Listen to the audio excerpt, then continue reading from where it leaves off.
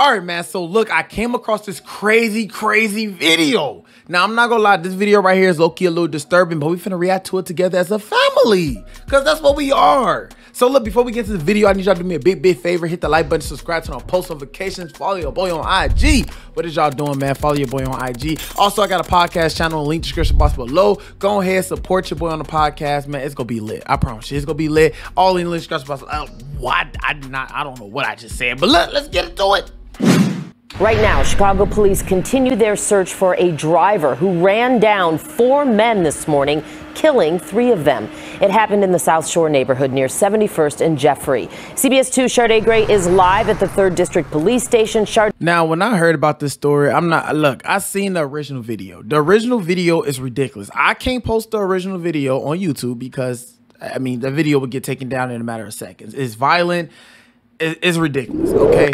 Um, and when I seen that original video, bro, it really just like it touched me in a different way, bro, because it's just it's hatred. It's nothing but hatred, bro. Pure evil. But I'm gonna let y'all finish watching the video because they show half of the video in this. Uh, this happened seven days ago in my home in my hometown. Y'all know I'm from Chicago and still live in Chicago. So you know this this happened all uh, near me. So it's just it's crazy to see things like this happen. But I'm gonna finish. Come on, let's go.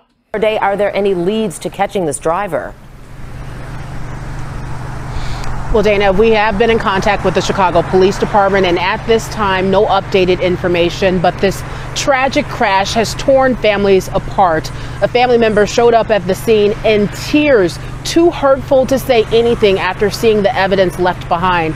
We did obtain podcam video that shows the men flying in the air after a car slams into into the four men. Literally flew in the air.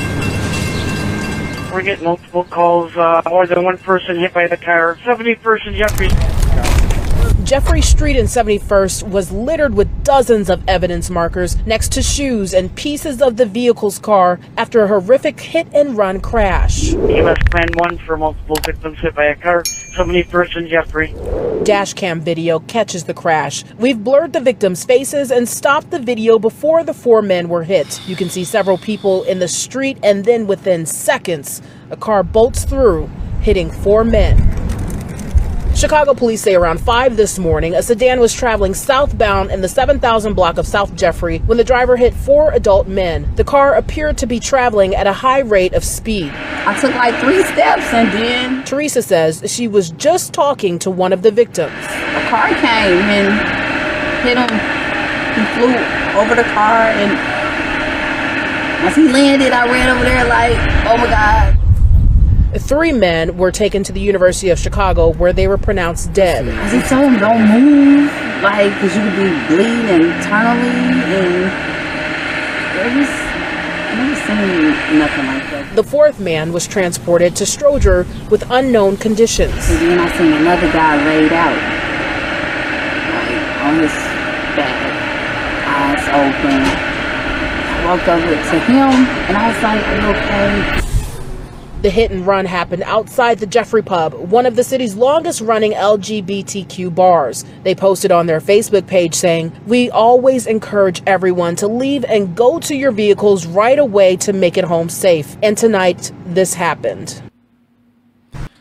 So, uh, okay, this this is one, this is my take on it. Um, number one, the one thing that I heard that happened was they said this was a hatred crime. They said that the guy who ran them over basically uh, ran over because they was gay. That's that's what I heard. But then I also heard that he was running from another scene that he done uh, hit a car or something like that. It was it's a lot of stories behind it. But even if this was because they was gay, bro, I don't care how nobody feels about the LGBT community. Literally, we all know how I if you watch my channel, you know how I feel. I don't support it, but I respect them as people because at the end of the day, they're still human beings and they still have feelings and hearts. So of course, I respect them like that, but I don't support what they do. But I would never have that much hatred in my heart to go run over a group of individuals who are gay, trans, les. I, like I would never have that type of energy in my heart. And it's crazy to say that this happened in my hometown. This is why people don't visit Chicago because this is the things that we do. And then number one, uh the second the second thing I want to say is I didn't like the fact that I don't like the fact that um a lot of my black community people, a lot of people that's in the black community, I don't like the fact that we fight. I don't like the fact that we sit and we fight fight each other when we supposed to be together. You know what I'm saying? I, me personally, I don't look at race with no, no, I don't look at race in white, Hispanic. I don't look at race. You know what I'm saying? I don't look at race. I believe that we all was called to be united into one. But at the end of the day, when I see black people fighting like this in the middle of the street at five in the morning, bro, that it that doesn't break it, it breaks my heart, but not as bad as them getting killed. This was how they ended their life. This was how they ended their life. Their life ended in the next in the five seconds of them just fighting. Boom hit and run crash. It's just crazy, bro. It's crazy. You can you can literally lose your life in a matter of seconds. In a matter of seconds, bro. My condolences go out to the family, um, the family of friends of, uh, of these individuals. I want y'all to let me know what y'all thoughts are on this situation because when I seen this video, I'm like, man, I gotta react to it. But at that time my channel was banned, so it was like, damn, I can't react to it. But now I can. You feel me? So let me know what y'all think about the situation, man. Let's have a conversation in the comment section below. I love y'all, man. Uh, man, Chicago, y'all need to do better, bro. Like, come on, bro. Y'all really need to do better, man. Like, this is why a lot of famous people, big people, and just a lot of people in general moving from Chicago. It's a great city, but god damn, bro. So somebody getting killed every second, every second of the day in Chicago, bro. Like as I'm speaking, somebody just got killed now. It's just like, bro, this, this is this is the life. This is the uh, life of Chicago. This is this is what Chicago is. It's nothing but a violent city. Nothing but a violent city. I mean, you can't even go walk your dog without probably your dog getting shot. It, it's crazy. I'm telling you, it's crazy, bro. And people just shoot just to shoot. They don't literally they be missing their their exact target and they shoot a bystander. It's just like, bro, like, come on, man. If you go shoot somebody, at least take gun classes or something.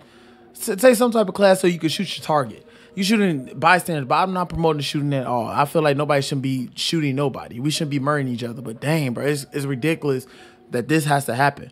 And they was young too, probably in their 20s. They was young. But y'all let me know what y'all think about the situation, man. Hit the like button, subscribe to my post notifications. I love each and every one of y'all, man. God bless. Stay blessed. Peace.